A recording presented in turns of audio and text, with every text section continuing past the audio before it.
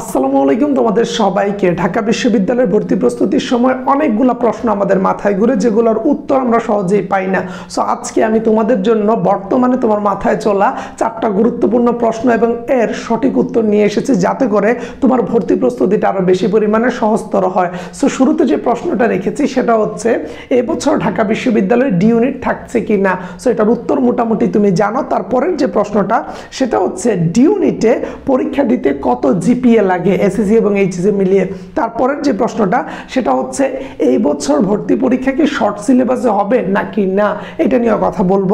এবং তারপরে যে প্রশ্নটা, সেটা হচ্ছে, ভর্তি পরীক্ষা কবে নাগাদ হতে পারে? সো আমি আশা করি এই ভিডিওটা দেখলে, এই চারটা প্রশ্নের উত্তর তুমি যথাযথভাবে পেয়ে যাবা। প্রথম যে প্রশ্নটা, এই বছর ডি ইউনিট থাকবে কি না? সো এই বছর তারা যেটা জানিয়েছে, সেটা হচ্ছে, তারা এই বছর ডি ইউনিট রাখবে এবং এইটা সার্কুলারের মাধ্যমে পূর্ণাঙ্গ করে দিবে। সার্কুলার কবে দিবে ভাইয়া? মার্চ মাসের ফার্স্ট উইক তারা সার্কুলার দিতে পারে। এবং ডি ইউনিট তারা বলছে যে এই বছর থাকবে, কিন্তু পরের বছর ডি ইউনিট থাকবে না। যারা বিভাগ পরিবর্তন করে পরীক্ষা দিতে চায়, তারা মানবিক বিভাগে পরীক্ষা দিবে, অর্থাৎ বি ইউনিটে পরীক্ষা দিবে। তাহলে তোমরা বলতে পারো যে, ভাইয়া, আমরা যারা বি ইউনিটের শিক্ষার্থী আছি, আমাদের সিট কমে যাচ্ছে না? না। তোমাদের যাদের সিট আছে, অর্থাৎ বি ইউনিটের যদি আঠারোশো সিট থাকে, তাহলে আঠারোশো সিট বহাল থাকবে। এর সাথে ডি ইউনিটের সিটগুলো বি ইউনিটে হবে। অর্থাৎ জাস্ট পরীক্ষাটা একই প্রশ্ন হবে বাট বি ইউনিটের সিট আলাদা থাকবে সি ইউনিটের সিট আলাদা থাকবে ডি ইউনিটের সিট আলাদা থাকবে, এরকম করে দেয়া থাকবে। অর্থাৎ যারা বিজ্ঞান এবং কমার্স থেকে বিভাগ পরিবর্তন করতে চায়, তারা বি ইউনিটের প্রশ্নে পরীক্ষা দিয়ে তাদের সিটে চলে যাবে। অর্থাৎ এই ক্ষেত্রে বি ইউনিটের শিক্ষার্থীদের কোনো সিটে তারা হস্তক্ষেপ করবে না। এটা হচ্ছে একটা প্রশ্ন। এই প্রশ্নের সঠিক উত্তরটা কিন্তু অলরেডি তোমরা পেয়ে গেছো। পরবর্তী যে প্রশ্ন, সেটা হচ্ছে ডি ইউনিটে ভর্তি পরীক্ষা দিতে ভাইয়া কত জিপিএ লাগে? দেখো, আমরা গত বছরের সার্কুলার অনুযায়ী জেনেছি, মানবিক বিভাগে পরীক্ষা দিতে four point four point eight point এরকম লাগে। তোমরা অনেকে বলবা যে, ভাইয়া ফোর পয়েন্ট ফোর পয়েন্ট না। দেখো এইট পয়েন্ট লাগে জানি, কিন্তু ফোর ফোর লাগবে না। তুমি এসএসসি এবং এইচএসসি মিলিয়ে যদি তোমার আট থাকে, তাহলে তুমি ঢাকা বিশ্ববিদ্যালয়ের মানবিক বিভাগ এবং কমার্স, অর্থাৎ ব্যবসায়, শিক্ষা শাখায় পরীক্ষা দিতে পারবা। বাট তোমাকে প্রত্যেকটাতে থ্রি পয়েন্ট ফাইভ জিরো ন্যূনতম রাখতে হবে। অর্থাৎ ধরো, একটাতে তুমি পেয়েছ থ্রি পয়েন্ট সেভেন ফাইভ আরেকটাতে তুমি পেয়েছ ফোর পয়েন্ট টু ফাইভ দুইটা মিলিয়ে আট হচ্ছে তুমি পরীক্ষা দিতে পারবা। কিন্তু ধরো, একটাতে তুমি পেয়েছ ফাইভ আর তুমি পেয়েছ ফোর তুমি কিন্তু পরীক্ষা দিতে পারবা না। তার মানে হচ্ছে ন্যূনতম থ্রি পেতে হবে। অর্থাৎ এসএসসি এবং এইচএসসি মিলিয়ে ফোর ফোর আট এটা কিন্তু না। তোমার এসএসসি এবং এইচএসসি মিলিয়ে আট পেতে হবে বাট দুইটাতে কমপক্ষে সাড়ে তিন সাড়ে তিন পেতে হবে। এখন অনেকে বলে যে, ভাইয়া, সাড়ে তিন সাড়ে তিন তো সাত, আট হলো কেমনে? আমি যেমনটা বলছি, দুইটা মিলিয়ে আট হতে হবে বাট কমপক্ষে এসএসসিতে তোমার থ্রি পয়েন্ট ফাইভ জিরো পেতে হবে এইচএসসিতে তোমার থ্রি পয়েন্ট ফাইভ জিরো পেতে হবে। এইভাবে হচ্ছে ক্যালকুলেশনটা এটা আর্টসেও এবং কমার্সেও অর্থাৎ যারা মানবিকে আছো, যারা ব্যবসায় শিক্ষা শাখায় আছো, তোমরা কিন্তু ডি ইউনিটে পরীক্ষা দিতে চাইলে এবং যারা বিজ্ঞান বিভাগে আছো বিজ্ঞান বিভাগের শিক্ষার্থীদের এসএসসি এবং এইচএসসি মিলিয়ে সাড়ে আট পেতে হবে। তুমি সাড়ে আট পেলে তোমার ঢাকা বিশ্ববিদ্যালয়ে আবেদন যোগ্যতা থাকবে। সো সেই ক্ষেত্রে তুমি অ্যাপ্লাই করতে পারবা এবং অ্যাপ্লাই করতে পারলে তুমি ডি ইউনিটে পরীক্ষা দিতে পারবা। অর্থাৎ বিজ্ঞান বিভাগে অ্যাপ্লাই করতে পারলেই ডি ইউনিটে তুমি পরীক্ষা দিতে পারবা। বি ইউনিটে অ্যাপ্লাই করতে পারলেই ডি ইউনিটে দিতে পারবা। সি ইউনিটে অ্যাপ্লাই করতে পারলেই ডি ইউনিটে দিতে পারবা।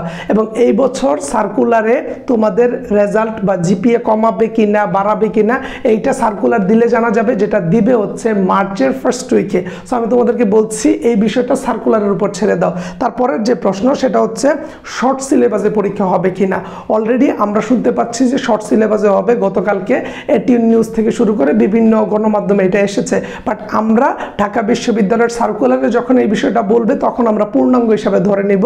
এর আগে আমরা আমাদের প্রস্তুতিটা চালিয়ে যাই। তার বাইরে তোমরা চাইলে এখন থেকেই শর্ট সিলেবাসের পড়াটা শুরু করতে পারো। কেন বলছি এই কথা? তুমি এখন থেকে শর্ট সিলেবাস পড়ো, আর পনেরো দিনের মধ্যে তো তোমাদের সার্কুলারে দিয়ে দিচ্ছে। সার্কুলারে যদি হচ্ছে ফুল সিলেবাস দেয়, তখন বাইরেরগুলা পড়বা। আর সার্কুলারে ফুল সিলেবাস না দিলে তুমি তো শর্ট সিলেবাসই পড়তেছো। সো এটা নিয়ে পেইন নেওয়ার কিছু নাই। শর্ট সিলেবাস পড়তে থাকো। সার্কুলারের জন্য অপেক্ষা করো। তারপর বাড়িয়ে দিলে বাকি অংশগুলো পড়বা। তার মানে শর্ট সিলেবাসে পরীক্ষা হবে কি না এই বিষয়ে আমি কোনো মতামত দিচ্ছি না। আমি তোমাকে সাজেস্ট করছি সার্কুলারের জন্য অপেক্ষা করো। এবং তুমি তোমার প্রিপারেশনটা চালিয়ে যাও শর্ট সিলেবাস অনুযায়ী।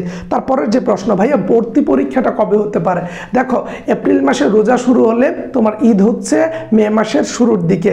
তার মানে ঢাকা বিশ্ববিদ্যালয়ের ভর্তি পরীক্ষাটা মে মাসের শেষের দিকে হতে পারে। অর্থাৎ মে মাসের বিশ তারিখ, একুশ তারিখ কিংবা জুনের শুরুতে হতে পারে। জুনের নয় তারিখ, জুনের তেরো তারিখ এই ডেটগুলোতে হতে পারে। সো এইগুলো হচ্ছে ট্রানজিট পয়েন্ট অর্থাৎ তুমি মে মাসের শেষের দিকে জুনের শুরুতে কিংবা জুলাইতেও নিতে পারে। এটা তো আমার এখতিয়ারের মধ্যে নাই। বাট আমার যতটুকু অনুমান, তোমাদের মে মাসের শেষের দিকে কিংবা তোমাদের জুনের শুরুর দিকে তোমাদের ঢাকা বিশ্ববিদ্যালয়ের ভর্তি পরীক্ষা হতে পারে। সো তোমরা যারা যারা প্রিপারেশন নিচ্ছিলে, আমি তোমাদেরকে বলব প্রিপারেশনটা গুছিয়ে ফেলো।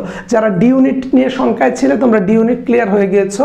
সো আমি তোমাদেরকে বলব, সময় ক্ষেপণ না করে তোমাদের প্রস্তুতিটা শুরু করো, ভালোভাবে লেগে থাকো। এখন অনেকেই বলে যে, ভাইয়া, প্রস্তুতিটা গুছাবো কীভাবে? আমরা তো বুঝতেছি না।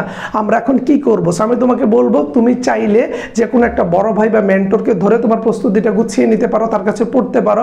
কিংবা তুমি যদি কোনো কোচিং সেন্টারে যাওয়ার সুবিধা থাকে, তুমি চাইলে যেতে পারো। কারণ তোমার এখন একটা গাইড দরকার। যে তোমাকে মনিটর করবে গাইড দিবে, পড়া দিবে, পড়া নিবে, কঠিন জিনিসগুলো বুঝিয়ে দিবে, পরীক্ষা নিবে, এইভাবে হেল্প করে যাবে। এখন তুমি কিন্তু চাইলে আমাদের ক্র্যাশ কোর্সে ভর্তি হতে পারো। কারণ আমরা বি এবং ডি ইউনিটের ক্র্যাশ কোর্স চালু করেছিলাম, যেখানে বাংলার ক্লাস পঁচিশটা, ইংরেজির ক্লাস তিরিশটা, সাধারণ জ্ঞানের ক্লাস হবে পঁচিশটা। ঠিক আছে? তার বাইরে আমরা কোর্স ফি নিচ্ছি তিন হাজার টাকা। ভর্তি হতে চাইলে এই নাম্বারে কল দিতে পারো, আমি ধরবো। এবং মাত্র কোর্সটা স্টার্ট হয়েছে, আমরা দুইটা ক্লাস নিয়েছি। এবং ক্লাসগুলো হবে সিক্রেট ফেসবুক গ্রুপে ফেসবুক গ্রুপে ক্লাস নেওয়ার পর আমরা প্রতি ক্লাস শেষে লেকচার শিট দিয়ে দিব, পরীক্ষার আয়োজন করব। তোমরা পরীক্ষা দিবা। পরীক্ষা দিয়ে ঝামেলা থাকলে আমরা হচ্ছে সলভ ক্লাসে যাব। সলভ ক্লাসের মধ্যে ঝামেলা থাকলে টিচারদের সাথে ডিরেক্ট ফোনে কথা বলতে পারবা। তার বাহিরে তোমরা সপ্তাহে চার থেকে পাঁচ দিন ক্লাস করবা। কয়দিন? চার থেকে পাঁচ দিন ক্লাস করবা। টপিকগুলো যে বোঝানো হবে তোমাদেরকে এক থেকে দেড় ঘণ্টা সময়কালে দুই ঘণ্টা সময় নিয়ে এই বিষয়গুলো বুঝিয়ে দেওয়া হবে। এছাড়াও বিস্তারিত জানতে আমাকে কল দাও। পরীক্ষার আগ পর্যন্ত এই কোর্সটা কন্টিনিউ হবে। সো এর বাইরে যদি আমি বলি সি ইউনিটের জন্য আমাদের কোর্স আছে, এটা হচ্ছে সি এবং ডি দুইটা মিলিয়ে। বাংলা ক্লাস পঁচিশটা, ইংরেজি ক্লাস তিরিশটা, হিসাব বিজ্ঞান প্রায় বিশ থেকে পঁচিশটা, বাকি ক্লাসগুলো হচ্ছে পনেরোটা করে। তোমাদেরও কোর্স ফি তিন হাজার টাকা ভর্তি হতে চাইলে ভাইয়ার এই নাম্বারে কল দিতে পারো। আমার এই নাম্বারে কল দিলে ইনশাল্লাহ আমি তোমাদেরকে ঢাকা বিশ্ববিদ্যালয়ের ভর্তি প্রস্তুতির জন্য ভালোভাবে তৈরি করে এই কোর্সের মাধ্যমে তোমার প্রিপারেশনটা গুছিয়ে দেবো। যেহেতু হাতে বেশি একটা সময় নাই, এই জিনিসটা করো আর রিটেন নিয়ে প্রস্তুতি শুরু করো। যারা আগের থেকে প্রস্তুতি নিচ্ছ, তোমরা রিটেনের প্র্যাকটিসটা স্টার্ট করো। আর যারা নতুন আছো, কারণ তুমি যদি চান্স না পাও, তার একমাত্র কারণ হবে রিটেন এবং আমি বিশ তারিখ থেকে রেগুলার রিটেন নিয়ে ভিডিও দিব। তার বাইরে তোমরা যারা আছো এখনও প্রস্তুতিটা গুছাও নাই। ভাইয়ার সময় ক্ষেপণ না করে তুমি কল দাও, তিন হাজার টাকার মাধ্যমে তোমার প্রস্তুতিটাকে গুছিয়ে নিতে পারবা।